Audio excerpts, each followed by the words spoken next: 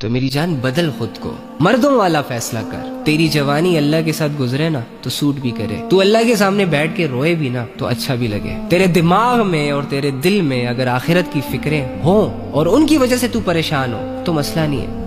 लेकिन वो दुनिया जो अल्लाह की मोहताज है, वो दुनिया जिसके सारे फैसले अल्लाह ने करने हैं। अगर तू इससे अपना स्ट्रेस बना के सोचता रहता है ये क्यों नहीं हो रहा, वो क्यों नहीं हो रहा, ऐसा होना चाहिए था, वैसा होना चाहिए था तो इसकी मिसाल ऐसी है जैसे आप बैठ के खुद अपने पाँव पर कुल्हाड़ी मार रहे हो। जिस चीज़ की फ़िक्र करनी थी, उसकी फ़िक्र ही नहीं कर रहे। और जिस चीज़ की फ़िक्र तुम्हें नहीं करनी थी, उसकी फिक्रों से तुम्हें फुर्सत ही नहीं। अल्लाह की फ़िक्र करो, आखिरत की फ़िक्र करो, रसूलुल्लाह सल्लल्लाहु अलैहि वसल्लम की फ़िक्र करो, अपनी फ़िक्र करो। जो है, उसी में खुश रहो। जो नहीं है, उसकी टेंशन नहीं लो।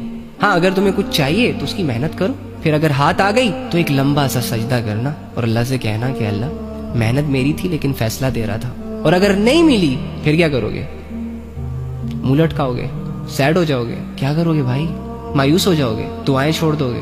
अरे नहीं ये तो कमज़ोर जाहिलों का काम है। जब तुम्हें लगे कि मेरी कोशिश के बावजूद, मेरी मेहनत के बावजूद, मेरी दुआओं के बावजूद एक चीज़ मेरे हाथ नहीं आ रही, कि या तो वो चीज़ मेरे लायक नहीं है, और या मैं उस चीज़ के लायक नहीं हूँ। अब ये सोचकर तुमने शुक्र का सजदा करना और इस बात को प्रूव करना कि तुम अगर अल्लाह की इबादत कर रहे हो ना तो अपनी ख्वाहिशों की वजह से नहीं कर रहे। अगर तुम अल्लाह की इबादत कर रहे हो ना तो तुम इज्जतें, दौलतें, शोहरतें समेटने के लिए अल्लाह की इबादत नहीं कर रहे। तुम अल्लाह की इबादत अल्लाह के लिए कर रहे हो। अल्लाह को अपना मान कर उसकी इबादतें कर रहे हो। क्योंकि तुम इस दुनिया के ताजिर नहीं हो, तुम आखिरत के ताजिर हो।